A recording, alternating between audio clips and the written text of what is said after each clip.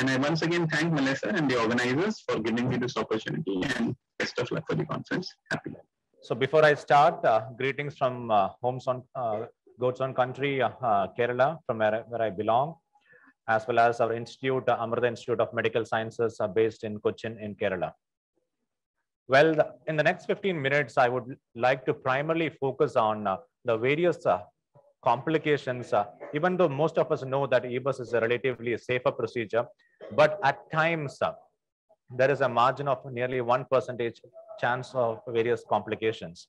So I will be primarily discussing about the what are the potential complications you might face uh, when you are performing uh, these procedures. And in case if you happen to mess with these complications, how to tackle it. And I will also be sharing few practical tips to prevent these complications.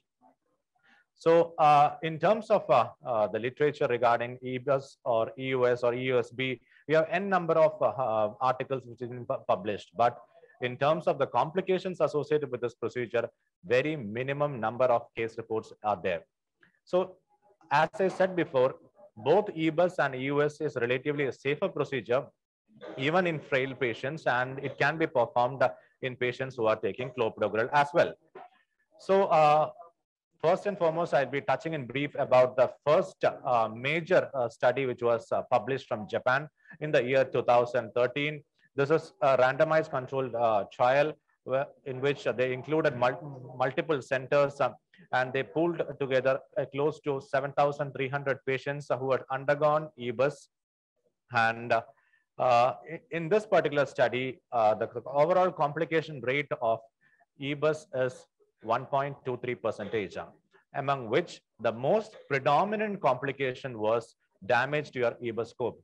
Along with that, the other notable complications were various uh, infections like uh, eh, uh, mediastinitis, pneumonia, pericarditis, and cyst infection and septicemia were also reported.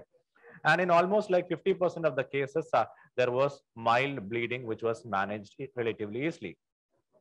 Moving on from the Japanese literature to the, the European one, uh, this was published again in late 2014. This uh, compared to the Japanese literature, this particular study incorporated both EBUS and EUS uh, data, and they had close to 14,000 patients uh, uh, enrolled, in which uh, the 14,000 patients of EUS and 2,600 patients of uh, EBUS procedures were uh, enrolled in this particular study.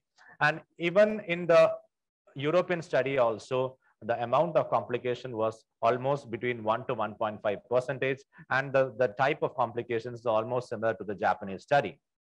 Moving on from the Japanese, from Japanese to European, and from there to the Indian uh, literature. This was published in late 2017. This is uh, from uh, the PGI Chandigarh, which enrolled close to 1,000 uh, patients uh, of EBUS TBNA. And uh, compared to the international literature, according to this particular study, the, the overall complication rate was around 5 percentage. Now let's see what are the different uh, uh, kinds of complications uh, which you can uh, tentatively face when you deal with these procedures.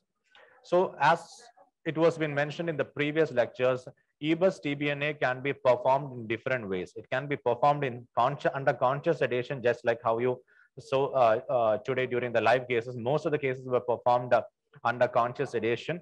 The same procedure can be performed under general anesthesia as well. The difference is that when you perform this procedure under general anesthesia, both the bronchoscopist as well as the patient will be much more comfortable compared to performing under conscious sedation. But in, a resource limited setting like in India, I would prefer to do this procedure under conscious sedation just to reduce the amount of the cost. And when you perform this procedure under conscious sedation, most often a hospital admission is not required and you can significantly cut down the cost of procedure. And moreover, the patient can go back to the hospital, go back home even in the same day itself. Now, if you're doing this procedure under conscious sedation, what all uh, precautions you have to take? First and foremost, you should have a, a dedicated nursing staff uh, who is uh, uh, assigned to monitor the level of sedation. And if you're giving a propofol, be careful. And you should have a dedicated nursing staff who mo serially monitors the, the level of sedation. We generally practice using an Ramsay sedation scale. And uh, uh, I give midazolam and fentanyl for my patients and make sure that you should have the reversal agent for midazolam and fentanyl, that is flumazenil and naloxone in place whenever you are doing this procedure. So moving on from the sedation induced complications to the complications associated when you are performing the EBUS intubation. EBUS intubation means introducing the EBUS scope through the vocal cords into the trachea. So compared to your bronchoscope, uh, the EBUS scope has got a forward angulation. Your Fuji scope has got a 10 degree angulation. The Olympus scope has got a 35 degree angulation and the Pentax one has got a 45 degree angulation. So uh, the scope is angled. So whenever you are performing this EBUS guided intubation, introducing the EBUS scope, uh, make sure that the scope has to be held in a neutral position so that your cords are uh, not been damaged. Moving on from there into the TBNA associated complications. Uh, this is the, one of the most uh, commonly noted, especially when you introduce a needle through the uh, working channel of the EBUS scope. So most often uh, what we might face is that at times the needle can break when you are introducing uh, it into the lymph node. Uh, it can cause pneumothorax, pneumomediastinum, mediastinitis, and rarely pericarditis as well as if you are planning to puncture an aorta, uh, or a pulmonary artery, like a transaortic or a transpulmonary artery puncture, be make uh, sure that uh, your center should have adequate backup because if something goes wrong, it has to be managed. So bleeding is a rare complication. It majorly happens in when you're puncturing a major blood vessel as well as uh, rare complic another rare complication is an intramural hematoma, especially when you do a transpulmonary uh, puncture. And Another notable uh, issue is airway edema, especially if you're doing this procedure on a patient with hyperactive airway uh, disorder. Uh, be careful about airway edema as well. Among all these complications, the most significant and the most costly complication is the damage of your EBUS scope. So uh, this is a case of a 36 year old female who uh, uh, this is a CT showing a, a mediastinal. You can see a mediastinal lymph node over here, which was sampled uh, using uh, uh EBUS TBNA. And uh, so apparently there was a confusion whether this was a solid lesion or a cystic lesion. So this was a cystic lesion which was punctured. And after three days of procedure, patient reported with the fever and malaise. So we did a follow-up CT, CT scan, which showed a significant increase in the size of the lesion. So this was a cyst which was punctured and became secondary infection came uh, inside that and the patient had to undergo subsequent thoracotomy to take it out. So the take home point is that whenever there is a cystic lesion, try to avoid puncturing it because there is a, always a chance for you introducing a secondary infection into the cyst or else through the tract, the infection can migrate into the mediastinum causing mediastinitis. So as much as possible, try to avoid puncturing a cystic lesion.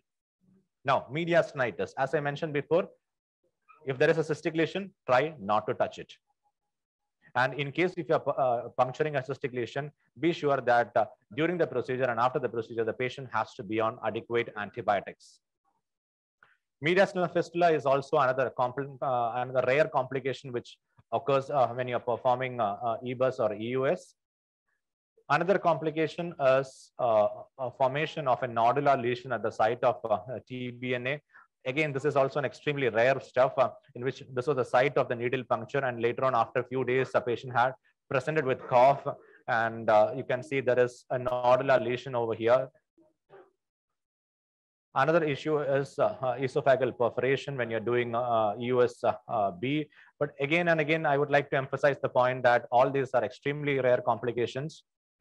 And among all the, the complications which I mentioned before, the damage to the EBUS scope is one of the most common and the most expensive complication for your department. So it can occur at various steps. First and foremost, it can occur when you are puncturing the working uh, puncture due to the puncture of the working channel, damage of the distal uh, covering. Uh, at times, if your technician is not handling the scope very well, you can you are bound to damage your EBUS scope. So this is uh, the photograph of our bronchoscope and EBUS scope, which was damaged in 2016 and 2018 due to the patient bite. Especially this complications tends to happen when you're performing this procedure under conscious sedation. At any time, the bite block can get dislodged or else the patient can bite. So be careful. The person who is handling the bite block should be extremely cautious So otherwise, the patient is bound to spit it out and your scope might get damaged. The another issue which you might face is the damage to your ultrasound uh, probe. Uh, so this is an image which showed uh, the damage to the ultrasound probe and uh, your vision is ultrasound probe and the camera is damaged and the, your vision is uh, compromised. Again, uh, this is an image, uh, the previous image which I showed of the damage of the EBUS scope and how to prevent it. Use a bite block as much as possible and the person who is handling the bite block should be very cautious about it. The other complication which you might face is uh, damage to the working channel of the EBUS scope.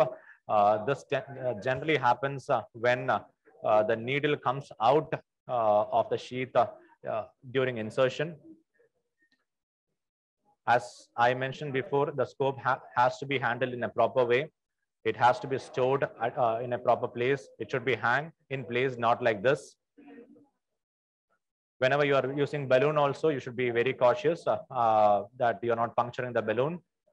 So in our hospital, we have performed, this is in unpublished data. We have uh, done close to more than 1,000 cases of EBUS and uh, our complication rate is also, uh, I would say, less than one percentage uh, and the, type of complication is almost uh, similar to the other uh, studies which has been published but we had one case of scope damage due to the patient bite and twice we had to send the scope for repair due to the damage of the optics so how to avoid scope damage? Uh, uh, the first and foremost, uh, you have to know that EBUS is a teamwork. It is not solely about the bronchoscopist or the interventional pulmonologist you have the people along with you has to be trained adequately to handle the scope, to handle the needle and restore it and clean it adequately. So first and foremost, um, before inserting your TBNA needle, you have to make sure that uh, you have to check the needle, whether it is working properly, whether the guide sheath is coming out or not, whether the locking system is working properly or not, it has to be checked.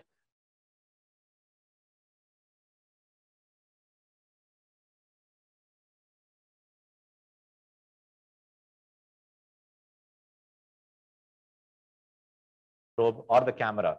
So whenever you are inserting a TBNA needle, make sure that the scope is held in neutral position and uh, also take, in order to do this, avoid uh, using your thumb uh, the, on the lever, take off your thumb and ensure that the guide, just like how you have, you can see in this image, the guide sheath should be well outside the, uh, the EBUS scope and uh, so that you won't damage the ultrasound uh, probe or else the camera.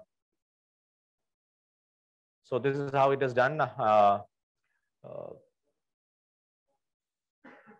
the this is the guide sheath. The guide sheath will be well outside uh, the the EBUS scope, and so that your uh, this is ultrasound uh, probe which has not been damaged.